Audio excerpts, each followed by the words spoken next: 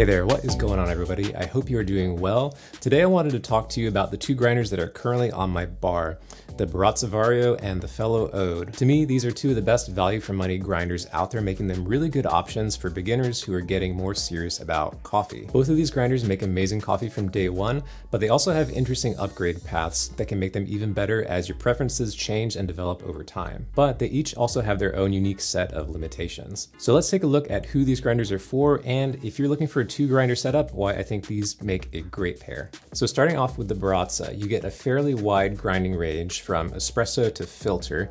You also get a grounds catch bin as well as a portafilter holder for either situation. But if you want to do both and you have the grinder set up for espresso, you can only really go coarse enough for a V60, at least in my experience. So if you want to go coarser and do a Chemex or something like an immersion brewer, say a French press, then you're gonna have to use this tool to adjust the calibration on your grinder and move it coarser. Now this moves the entire range coarser. So as you get into being able to do something like a Chemex or a French press, you're gonna lose the ability, or at least lose some of your range for espresso.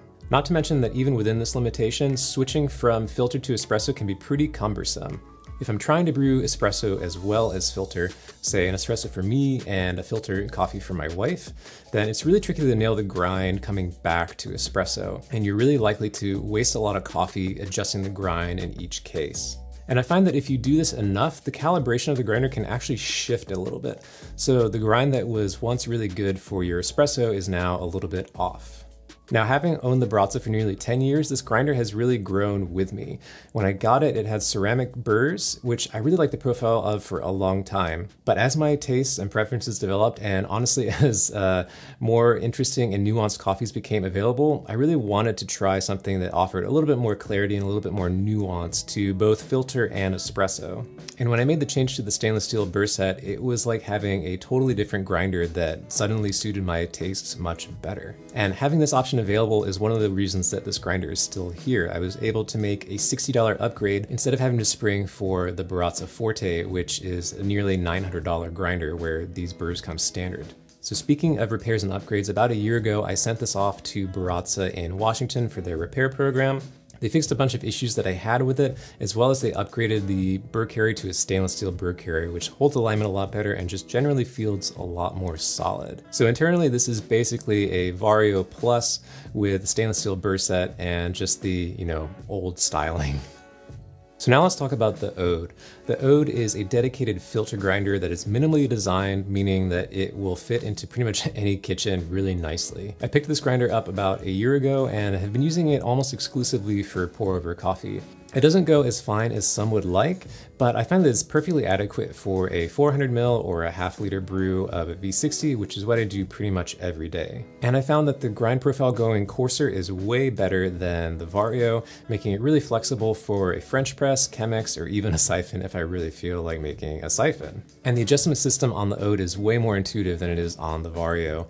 And I performed a stepless mod on it, and to be honest, I don't really find myself in between settings too often, but I do really enjoy the feel of just the smooth dial without those little tactile bumps. Now the Ode is also a single dosing grinder, which is honestly kind of a mixed bag for me because of the way that it's set up. You sometimes get beans that are caught in the hopper, so you have to kind of push them down and make sure that they get through. And then once they do get through, then you end up with a lot of static if you don't use a method called RDT, which you basically have to do with this grinder. The grinds catch bin is really nice that it's magnetic and it kind of locks right into place, but the little cover that comes with it, I pretty much put away into the cabinet around day one or two and just haven't gone back for it. I don't find that it works particularly well. It just gets dirty really easily and generally is just in the way. But what makes this grinder so appealing for enthusiasts is the 64mm burr set. The 64mm format is common in many more expensive grinders, meaning that there are lots of upgrade options if your preferences change and your wallet can support it. You have options from SSP, Mazzer, Gorilla Gear, and Fellow actually developed a new set of burrs in-house for this grinder. So making the switch can really change how the grinder performs and make it feel like a totally different and new grinder. However, no matter which burr set you go with, because of the size and power of the motor in the Fellow, there's no official support for espresso, and you're likely to burn out the grinder if you pull lots of espresso shots with it. So let's get into why I personally pair this grinder up with the Vario.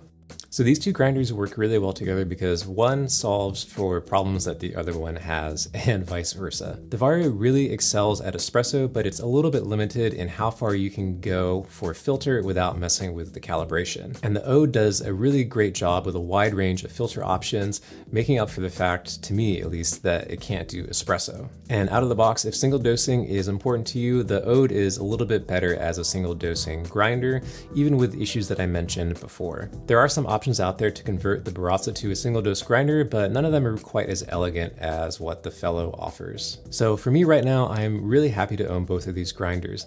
Having both of them removes the friction point that I described earlier and eliminates the waste of having to switch back and forth from espresso to filter, which means that not only am I saving a little bit of money, but I'm using my espresso machine a whole lot more. And I think that that's kind of the thing with these sub $1,000 all-in-one grinders, is that if you really want to do everything with it, the switching back and forth and redialing in here and there is going to add up over time. And eventually for me, it really made a $300 brew grinder feel like it was totally worth it.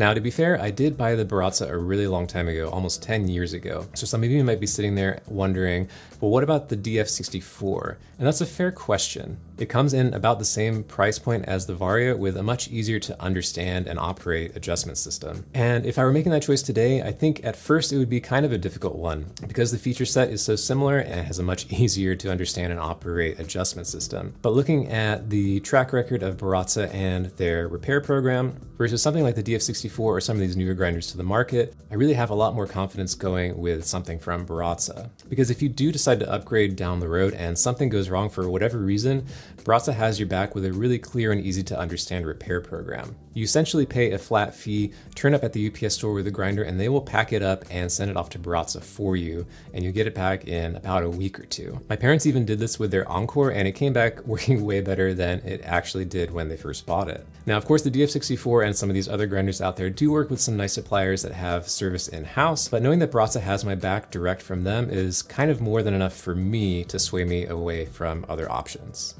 So then why the Ode and not something else from Baratza? Well, to be honest with you, I wanted something that was aesthetically a little bit different and was really minimal, could fit in my kitchen pretty easily since I'm gonna have two grinders in the kitchen. And the enthusiast community has really embraced the Ode and seeing how they responded to that with offering lots of neat tutorials on how to change out your burrs, as well as offering a two or three year warranty on some of their products, made me feel comfortable enough going with Fellow for this grinder.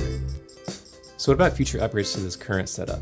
Well, I'm pretty happy with the Baratza in its current state, so I probably wouldn't change anything there except maybe try a single dose hopper. On the Ode though, the burrs are a bit of a limitation and I would definitely be curious to try out either the Gen 2 burrs from Fellow or the SSP burrs. But for right now, honestly, I am pretty content. This setup will go from espresso all the way through the range of filter options, which is more than enough for most people. But having said that, I think if you want something that covers the whole gamut from espresso through the filter range without the unnecessary waste of coffee and need to calibrate and dial in every single time, this is the best way to go. And now I am curious about your setups. Are you going from espresso fine all the way to very coarse filter brews? Was I wrong about the DF64 and some of the other grinders out there? Let me know down in the comments, and while you're there, please consider subscribing. Thank you all so much for watching. I hope you all have a great rest of your day. Take care.